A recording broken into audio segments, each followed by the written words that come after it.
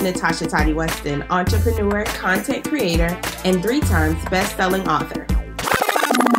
Let's scratch the titles. I'm just the girl next door. If you follow me on social media, you know I'm all about being an open book, bringing current events from the real world and my world to the table to give my sisters from other misters insight, wisdom, and real talk about life, business, and all that other ish. The reason I created Table Talk with Tottie is because I spent the last decade mostly online talking to people, more specifically millennial women all around the world about the ups and downs that come with building a brand, being a mom, and having a personal life. And what I eventually realized was that we all have many of the same questions, curiosities, and challenges. So here we are. On the Table Talk with Tottie podcast, we'll laugh, we'll cry, and I'm pretty sure we'll be pouring it up together on many occasions. It's about time that you got a relatable, unapologetic view on life as a creative living in the 21st century. On this show, you'll hear from some of my close friends, family, and guests that I've learned a thing or two from over the last decade.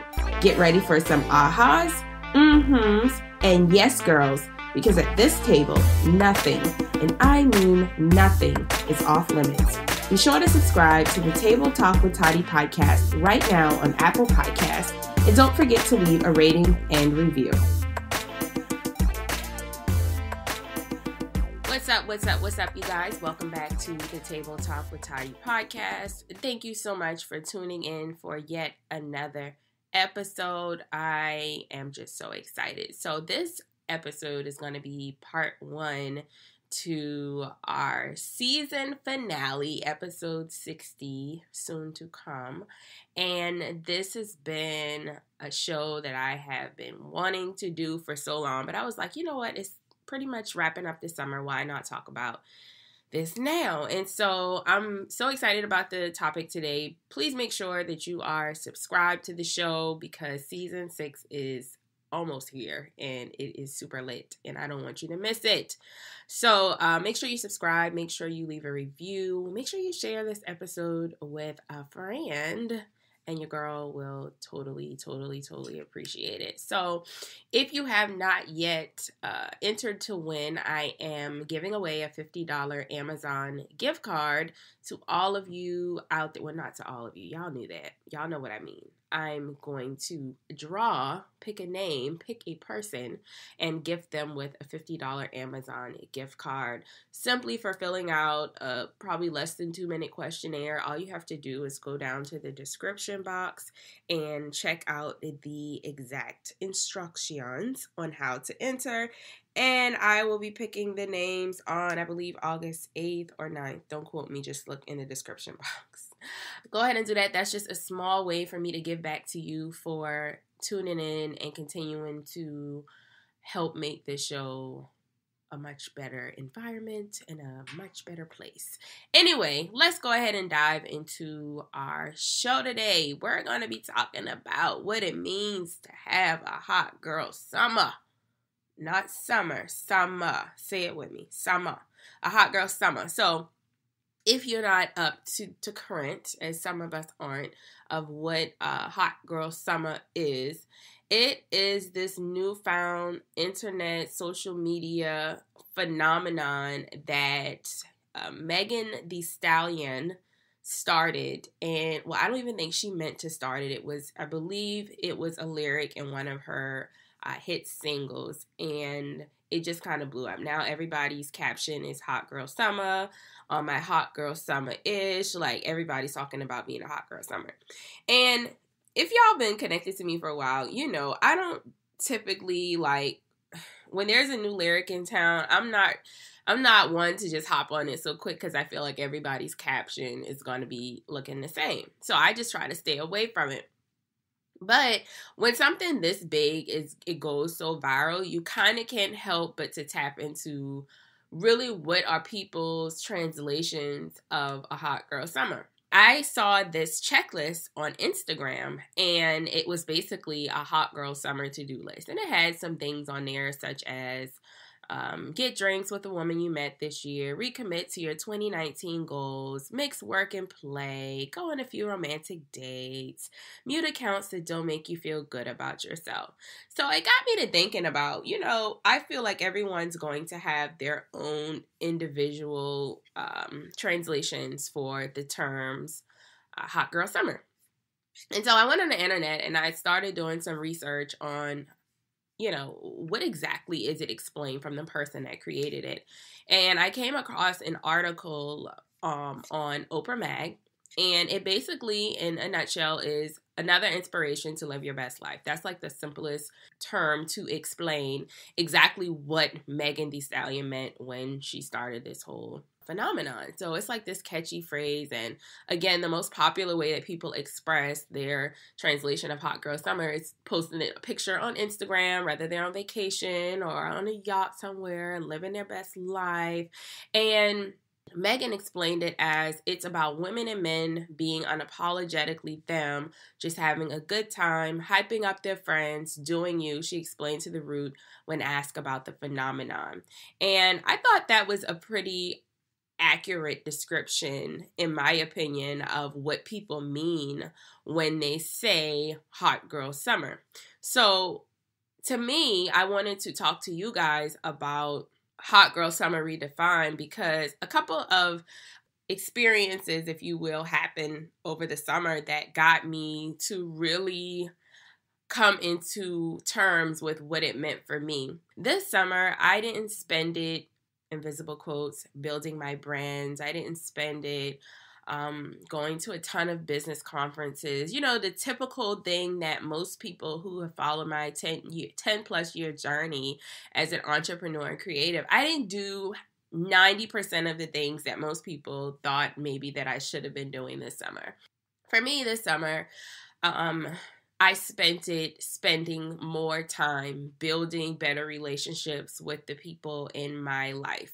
That being my cousins, my friends that maybe I went to high school with that were still friends to this day. I spent it getting to know the people who I've known for years because I found that, that I, I really didn't know them.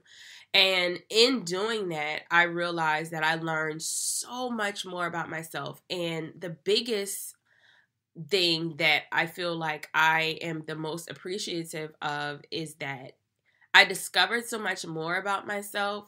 And that is, I think, the one thing that I've been looking for for the last maybe five years or so, just trying to really figure out who Natasha is at her core and ultimately being comfortable with being who I am at my core in this season because I realized that every season we are going to change. And my beliefs right now in this season are going to be completely different than they are in two to three years in the next season. So, not only did I learn more about myself by just hanging out with cousins and hanging out with close friends and really getting to know them on another level, is that I learned, I not only learned about myself, but I was comfortable just being who I am in this season no matter who do, who isn't comfortable with it, no matter who doesn't approve of it.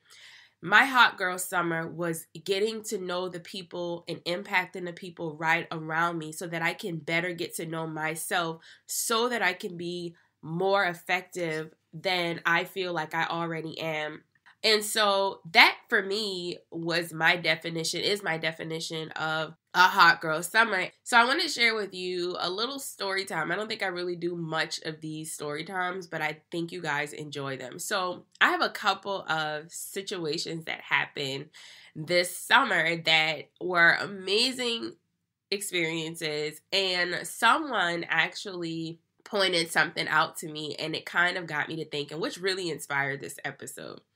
So, again, I've been spending a lot of time with cousins this summer and just enjoying life, you know, just enjoying the fruits of my labor, just enjoying the newfound financial freedom that God has blessed me with, and just trying to be more present in life, trying to enjoy more things, and uh, not just be all about work all the time.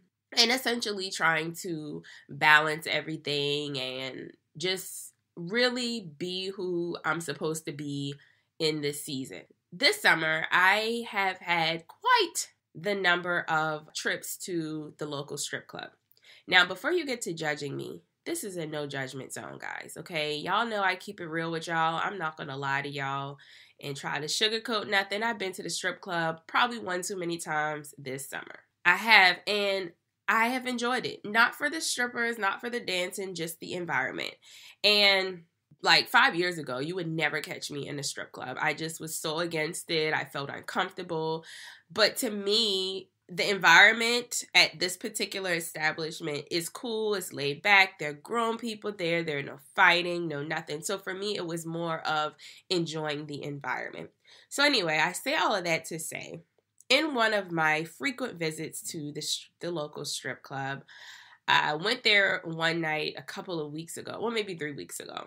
And, you know, I'm in there, you know, like going and grab me a drink and then going back into VIP to hang out with my friends, some of my cousins, and a young lady who follows me on social media. She's, you know, very, I think, present in my community and my tribe.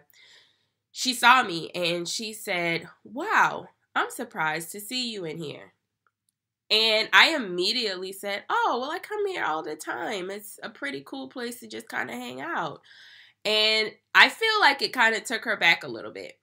And I just started laughing. I was like, well, you know, we'll talk, have a great time.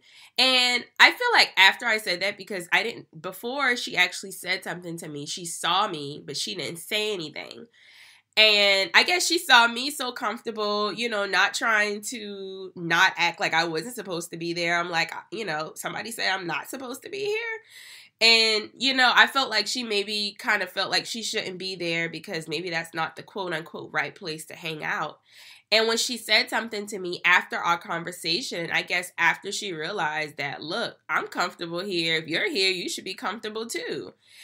It seemed like she maybe loosened up a little bit. It was kind of like um the the wall was brought down. And maybe that I could be mistranslating it, but the energy spoke.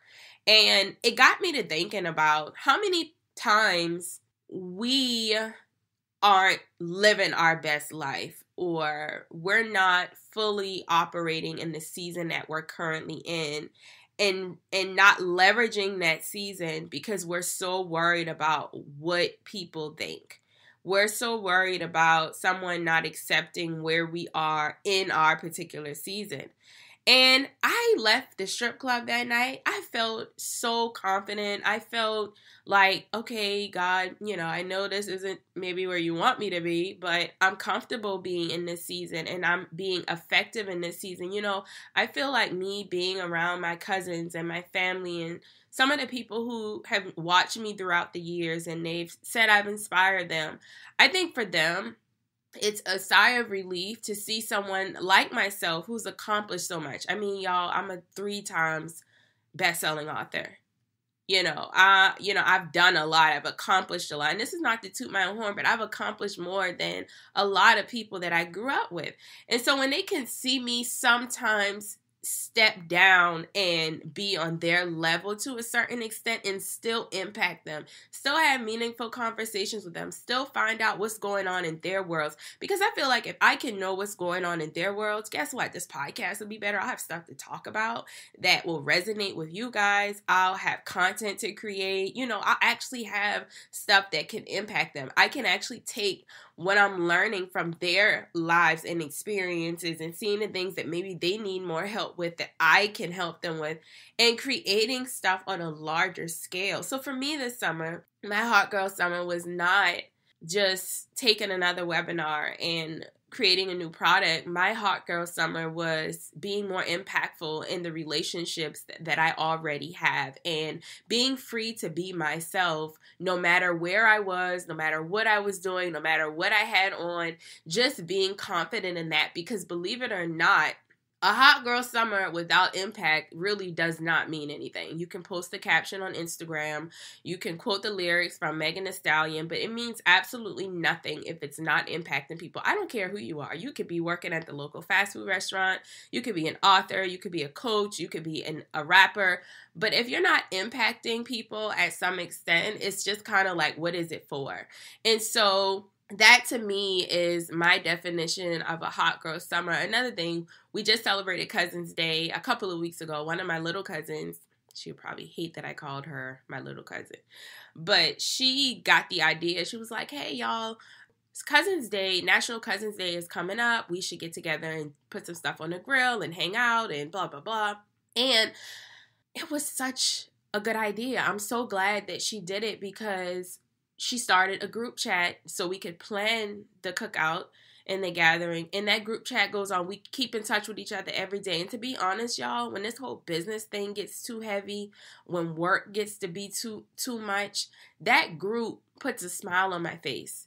You know, there are certain levels of dysfunction gives me hope that I can still be myself and still impact because people are looking for realness and I can only be as real as what I expose myself to. And that's what my hot girl summer was was simply being myself being unapologetic about where I am, who I am in this season, because we can't let people put us on such high pedestals that we forget what it feels like to put our feet on the ground. And I think that's what's happening is it's so easy to become the next big thing. It's so easy to be this person on social media and not make a hill of beans of an impact in nobody's life. And even if the people who I've spent all this time with this summer, even if they don't come out and tell me, oh, you know, just being around you has helped me, has impacted me, I know that not only have I impacted them, from simply just being present, but they have impacted me in a way that they'll probably never even understand.